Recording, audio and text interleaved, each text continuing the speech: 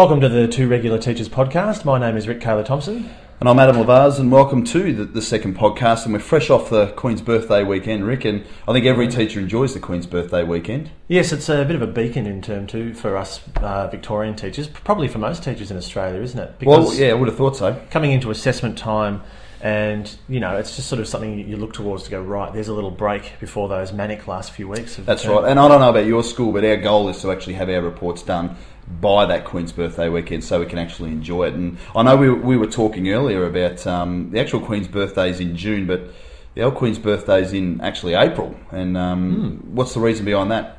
Well, apparently, uh, and I haven't just got this from uh, Googling, but um, apparently it was in the UK, obviously where it, where it all um, originates, that there'd be the chance of better weather in June. So that's what, and, and, obviously the UK coming into summer now, that they would put the holiday on that day, expecting that families and that would get outdoors. So it's interesting how a lot of the Commonwealth nations followed suit. And it's a it's a good idea, but typical Australia, we haven't we haven't we followed suit, but. I mean, as we as we do this podcast now, it is raining outside and it's freezing cold, and it, the winter is definitely here, which kind of doesn't really work for us, does it? Yeah, it's it's sort of one out of the bag if you get a, a nice uh, sunny day. That's on, right. You and I, you and I won't be in the backyard having a picnic at this at this very moment with our families. It's uh, very much worth it inside. But uh, it is nice to have it off the Queen's birthday weekend, and uh, yeah. It's almost the end of term. And uh, thanks to those listeners who uh, tuned in to last week's episode, we have had um, quite a nice um, response kicking off. We've had um, some messages back from some of our some other teachers in our personal learning networks, and um, I must admit we were quite happy and we've been really looking forward to this week's episode. Yeah, we have, and very quietly chuffed to, to get uh, some feedback. And actually, it was good. I got a few extra followers on Twitter that I was able to follow back and start to, you know, make some more links and things. So we were, we were quite chuffed with the, with the response that we got, and it was a good episode last week, mate. Wasn't it? We were pretty happy with that. We were, and uh, we were quite happy with the, with the timing of it. And I guess that's you know we have been thinking about those things because there's lots of podcasts out there. So we're going to try and aim for that sort of 15 to 20 minute absolute tops uh, bracket. Yeah, we don't want to bore you to tears, do we? We, we, we want to keep it short and to the point. We don't want you to be sitting here for an hour and a half uh, listening to us waffle on. Exactly. So the first thing we want to discuss today, Rick, is that um, at the fortnight ago at the uh, Teaching Learning the 21st Century First face-to-face day, uh, another thing that came up, and again, I'm going back to Twitter here because I paid close attention on the day. Yep. Um, the issue came up about changing your own practice and whether or not you've actually got time to do it. Um, you know, there's so much to do, and as, as teachers, we can only fit so much in the day. We go home, and you know, we're doing so much at home as well. Um, can you elaborate for us a, a, little bit about how it was brought up and, and what the response to that was?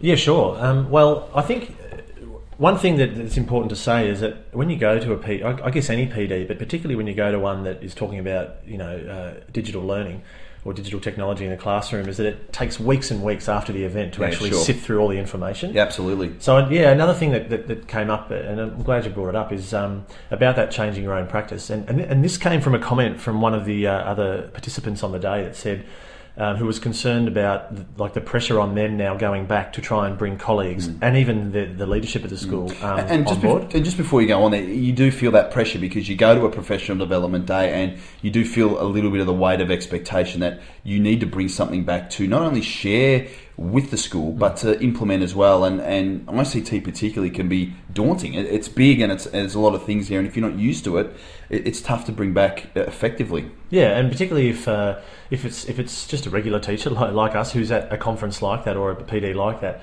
it, it can be sort of even more daunting having to report back. So this person um, brought this up with Will Richardson during his um, Q and A after his keynote, and quite valid. Um, but he he did say, well yeah, that's the truth. It's going to take maybe a long time to either bring on the rest of your staff, even trying to get some of this stuff happening in your classroom. Definitely. So he said, you know, why don't you change something um, about your learning straight up, yep. and uh, and then that might take six months yeah, or, or, sure. or, or, you know a little bit less. Yep. So if you change your own practice outside the classroom just a little bit before you change your practice inside the classroom, then that's going to be that, that's a huge step. Yeah. So if absolutely. you if you join Twitter and, and read some tweets of some some other teachers, or if you read someone's blog article, or um, I don't know, maybe you well, actually, you tried this last year, didn't you, Adam? You know, yeah, you, you, you, yeah. put, you, put, a Google Doc out for, yes. for, the kids to try and collaborate yes. on. And it was just baby steps. I mean, I put it, and I made the mistake because I put it out there, it didn't work because I forgot to click the share button. So the kids are all going, can't access it, can't access it. And, you know, it's a baby step, but you've got to understand that all right, I made a mistake, but I'm not going to make that one again. So I, it was baby steps, putting the Google Yeah. Docs, actually getting one out to the staff. Let's fill this one out and,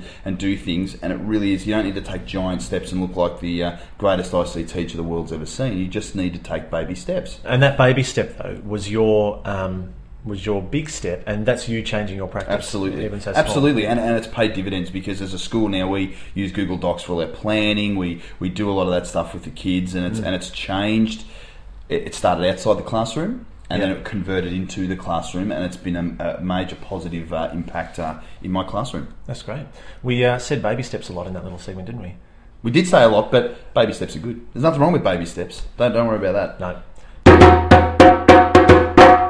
Okay, Adam. In last week's episode, in our inaugural episode, you, you mentioned how we're coming through that time of the year for Victorian teachers where we're all doing reporting. We are. And um, we thought that um, just in case we do have some listeners from outside, not just our state, but outside the country, um, the way reporting works for most Victorian teachers. So basically, where schools are mandated to report on students um, in June and December, and they have to give uh, progression points um, as to where the, Yes. the student sits into, Yeah. across all the curriculum Yeah. areas. But apparently, it, it's ac- actually up to the schools at school level to decide what types of comments and anecdotal stuff comes with. And those progression points. And that's the same with the progression points too. I know that we were able to drop a few that you know we're teaching in the second half of the year, for Yeah, example. of course, we don't have to report on. Yeah. So we thought we'd sort of um, kick off, being that time of the year because it is very busy, just talking about our reporting experiences. So uh, Adam and I have both been in the job for about uh, nine years, haven't we? Yeah. And um, over that period of time, we've both been involved in, in the schools that we've taught at, basically uh, doing the progression points, which has always been the same, but um, spending a lot of time outside of our working hours, school time. And this is not a Definitely. whinge, by the way. I'm just um, telling No, you no, how no. It's just part and parcel of the job, isn't it, mate? Yeah, I've just of writing um, a lot of uh, comments um, about the student and how they work and the goals that they've achieved.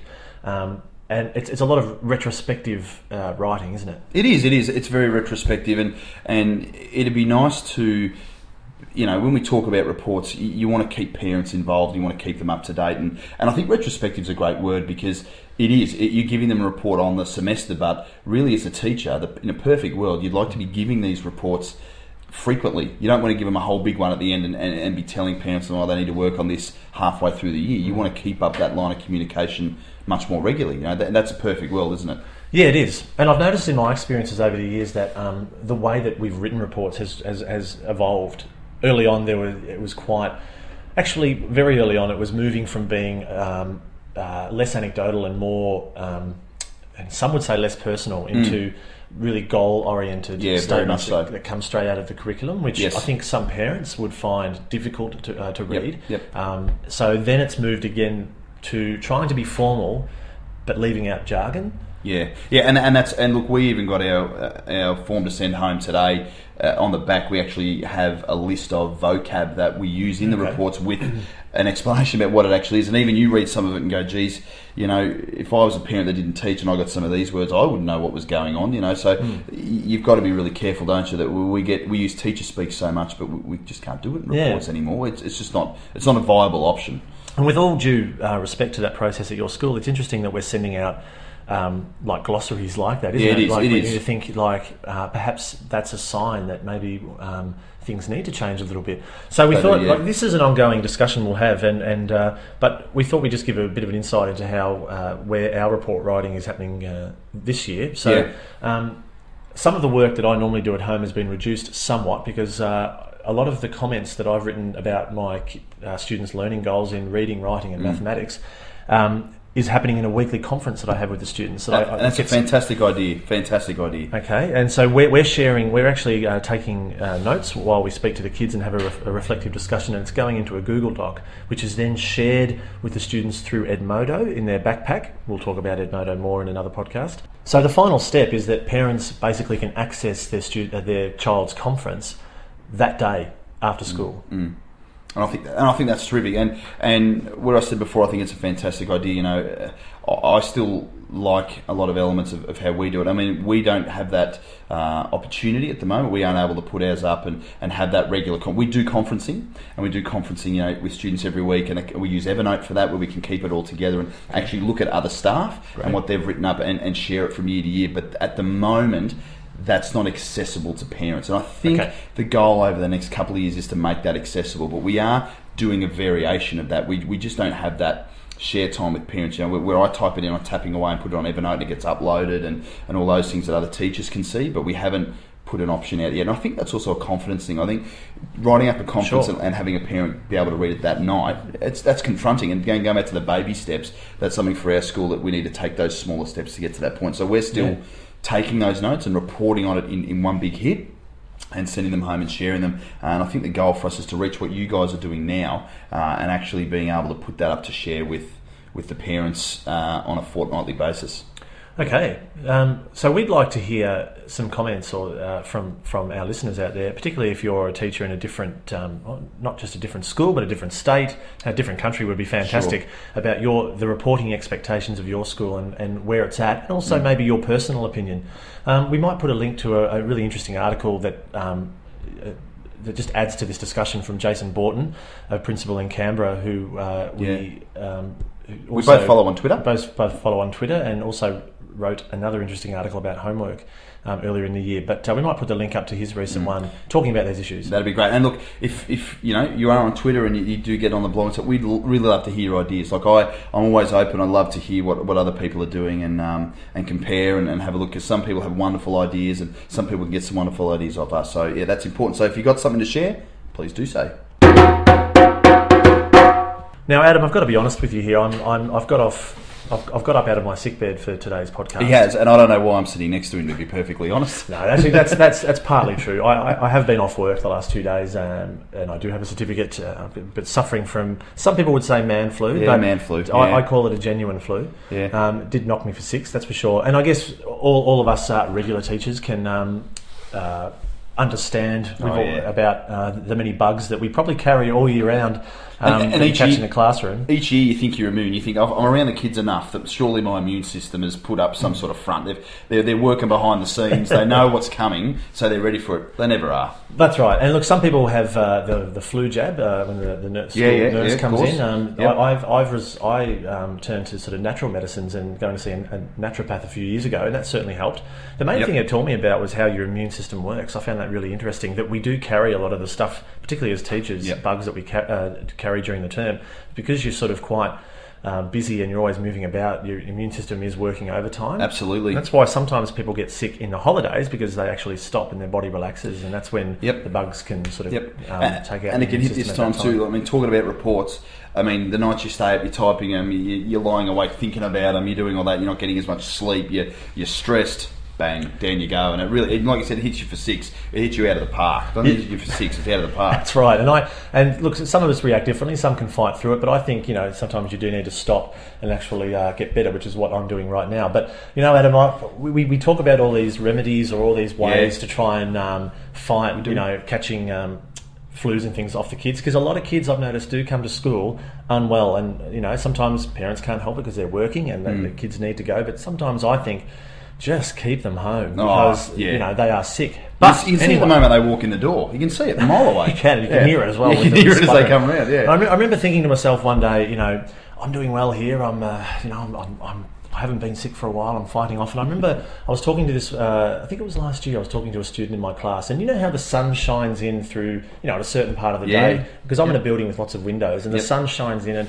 you know when it casts almost like a spotlight across the room, and you can see the dust particles Yeah, floating in yeah, the sun. yeah, yeah, yeah. Oh, I remember I was talking last year, talking to this one student who was quite sniffly, and, and I Mm. remember just, just starting to think, probably you probably should have stayed home Mm. today. And he just did this gigantic sneeze without covering his mouth. This is not an exaggeration. Yeah, and no. I saw all the little loogies floating through the air with the dust, and I just thought to myself, I mean, there were looked like there were hundreds of them, and I thought. My heart sank. I thought, what chance do I have? No, you've got no. How were the reflexes? Was it close enough that you had to sort of, you know, move one, you know, move left to right Absolutely. to sort of dodge them out of the Yeah, way? almost, almost like a slow mo Matrix dodging Yep. a bullet type Yeah, thing, you know. But, Keanu but Reeves style. There was yes, exactly. But there were so many. I thought, gee, what chance do teachers have? Sometimes you get sick and you just get sick. We got, we got none, and, and you got to stay home. Sometimes you just got to stay home. So if, if you're sick out there today and you're listening to this, please let us know because we feel your pain. So the final thing I want to discuss is, I, don't know if you've heard over the last couple of years about schools going a little bit over the top. So have you heard about rules where schools have brought in about you know there's you can't no kicking of footballs, uh, no monkey bars and things like. that. Have you heard about some of the rules about the schools where kids have fallen off? Parents have gotten a little bit worried, and so schools have said, well, we're going to ban monkey bars, and there are only sort of single schools. Have you heard a little bit about I, that? I think I saw. Are you talking about something? And it always makes the media. There was something in the It always makes- always makes the something media. about skipping, maybe. Yeah, or something skipping like that and, and no, uh, no skipping. You can't bring those to school because a few Oh, kids high have been hurt fives. by I remember was once, but that's high probably a different fives and, and copping them in the head. That's the West Indies brought that in. But um, I was actually lying awake last night before I went to bed and I was flicking through some articles and I came across an article about an American man who, who walked to school to pick up his kids and was arrested because he wanted to take them and walk them home and that wasn't school policy. Now, Wow. I couldn't believe it. I was reading it and about that he the, the, the line to pick them up in the car park was a mile long. Now he was at the back of this line and thought, I'm not going to wait here all day. I'm going to. So he went and parked just down a side street, got out of the car, walked down to the school, and went to sign out. So I'm such and such. I want to pick up my kids. They wouldn't let him take them. Now the security guard that was there said, "Well, I'm sorry, it's hasn't been 15 minutes. They haven't been released for uh, for long enough yet." And then the parent was saying, "Well." I Couldn't care less. These are my kids. I want to take them. Wait, And the security guard said he was being it was disorderly contact, conduct, and arrested him. Where where were the students at this point? Still in class? So they had been released. So they had been the bell had gone, and they, they were waiting out. And he was in the line. The line's going slowly because you know the kids get in the car. They got to wait for them to get back out on the road and so forth. He just didn't want to wait, so he's gotten out of the car and walked down there to pick him up. wasn't allowed. Is this the line of cars or a line of people? Line of cars. It's a line of cars that was a mile Oh, long. wow. So he's parked down the side street, gone to pick him up, and been arrested for it. Now What was he charged with?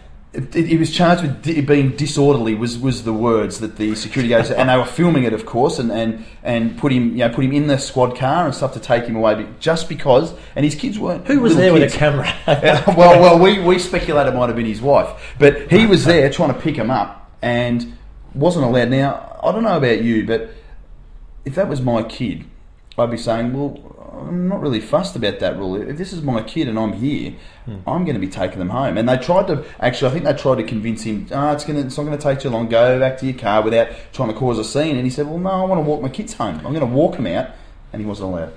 Different, uh, amazing. I'm, I'm- I'm flabbergasted. I couldn't believe it. I am thinking though, obviously, and I'm sure you did too. Being a different country, um, uh, is it is it uh, security being tighter at this at this particular school? Obviously, if you walked into a, a, either of Yeah. our schools and did that, you know, the, the Oh. students would be released as long as And, you and, sign I, them out. and I suspend, I reckon, my primary school days and my high school days, I walked home. I walked home 95% of the time. Sometimes I get picked up in the rain, and sometimes, you know, my mum and dad are just, you know, bad luck, you're walking home in the rain, so you'd have to do it anyway. But this, this parent was known. It wasn't as if we don't know who you are. They knew exactly who he was. He's got a 14 year old and an 8 year old. It's not like they were four or five years old.